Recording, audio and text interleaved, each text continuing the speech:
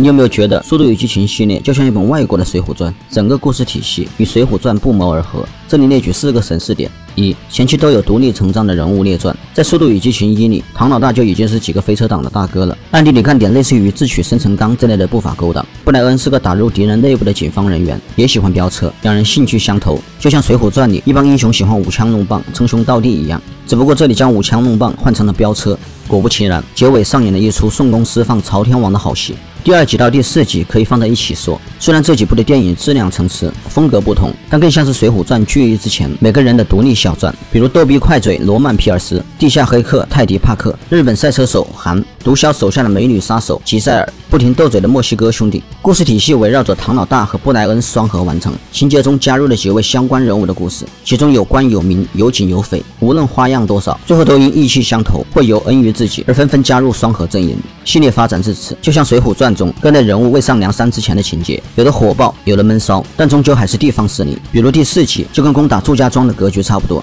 第二个神似点，江湖聚义的巅峰，《速度与激情五》是整套系列的巅峰。为什么这样说呢？开局就是劫法场的故事，随后各路英雄大聚义，好比《水浒传》前七十回合的七星聚义、白龙庙英雄小聚义，甚至最后的英雄排名座次。凡是涉及到聚义的内容是最好看。第五集在聚义的基础上，又加入了各路英雄汇合后的第一场战斗，格局也是前四集没有达到的。从地方势力上升为攻打州城府县，与官府作对，加之聚义后各路英雄大显神通，破坏力自然不同凡响。《速度与激情》与《水浒传》的第三个神似点，越来越强悍的团队作战。从速六开始，老队员莱蒂死而复生，这个系列的主要角色就再也没有增加过，却像《水浒传》后三十回合那样，开始了战斗性与非战斗性减员。第六集最亮眼的吉塞尔死亡，彩蛋中韩被德卡特消灭了。直到第七集布莱恩的离去，聚义之后的故事开始出现火爆战斗中的英雄落幕。受招安后，故事的味道就变了。有着朝廷的支持，故事当然可以越做越大。专业设备和各类名车要什么有什么。他们的对手也是和他们以前同样身份的飙车党，就好比《水浒传》中的方腊。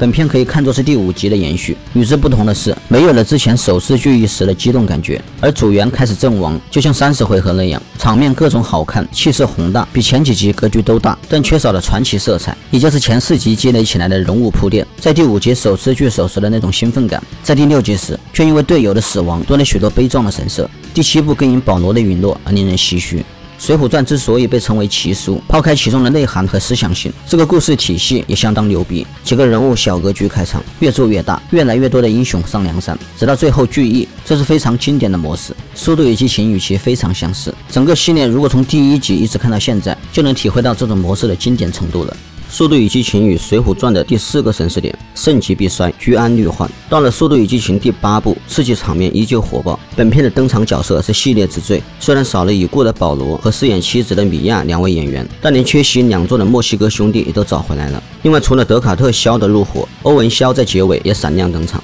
唐老大的叛变是一个新噱头，但当这部电影的预告片出来的时候，看过预告片的观众大概都能猜到其中的无间道，由此联想起了《水浒传》中莫雨见张青和小旋风柴进的无间道。我们看《水浒传》，这里单说聚义之后令读者印象深刻的是什么？简单而言，就是两破铜罐、三败高俅和甄方腊的故事。两破铜罐加三败高俅之所以好看，是因为这是梁山聚义之后第一场与官方的正面冲突，而且大胜，气势极高，可等同于数五。曾方腊令人印象深刻的是因为大量好汉战死，悲凉是英雄的挽歌，可等同于速七中的布莱恩的离去。那么士气加挽歌之后，《水浒传》也就结束了。那么《速度与激情》的未来该如何是好？从目前来看，速八这么火爆，未来沿着这种模式发展，依然还会招揽大批观众。速度与激情的套路基本就是一言不合就飙车，没有什么问题是一场飙车解决不了的。如果有，那就飙两场。